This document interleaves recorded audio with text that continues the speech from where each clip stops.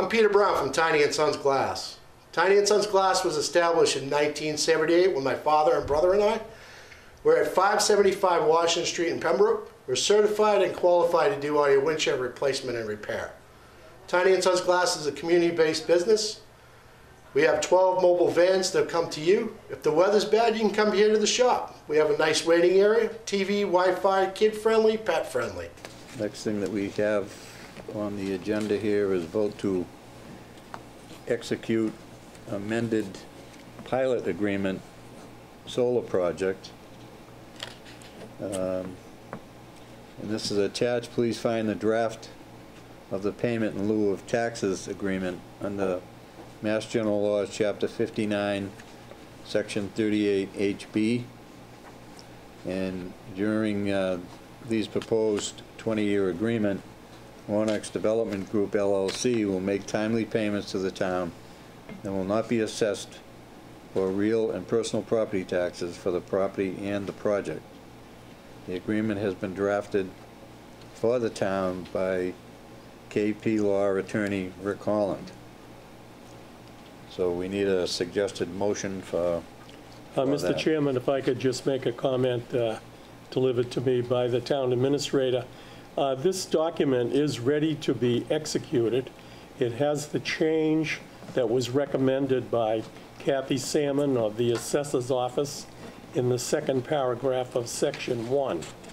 Quote, "If the commercial operation date does not occur on or before August 1st, 2017, then the entire fiscal 2018 payment can be made in two equal installments on the last two quarterly payment dates of such fiscal year, i.e. February 1, 2018 and May 1st, 2018.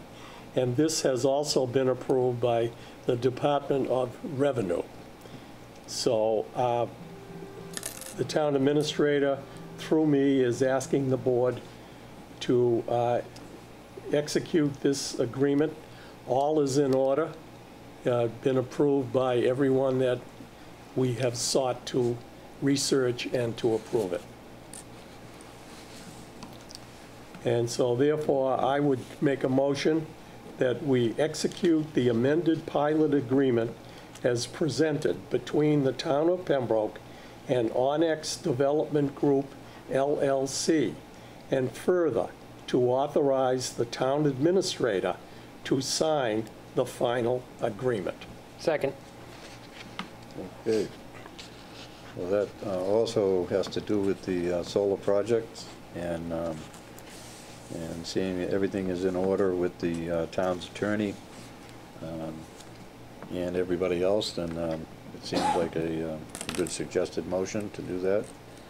So we have a motion and a second. Is there any other comment or question about this?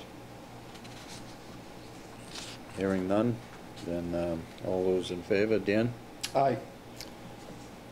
Aye. and Lou Yes. and Arthur? Yes. And I'll say yes. So that'll be five, um, to zero to uh, approve this, to have uh, Mr. Thorne sign this agreement.